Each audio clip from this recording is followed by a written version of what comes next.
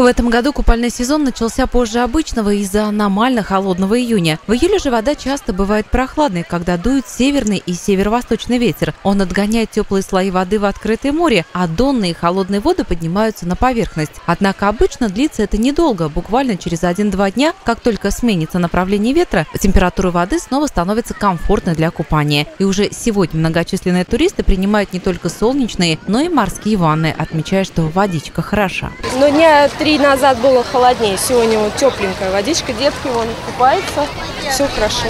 Водичка очень теплая, водичка очень чистая, а, солнышко, море, чистый песок, все везде чисто, хорошо. В общем, всем рекомендую приезжать в Анапу, загорать, плавать, получать удовольствие.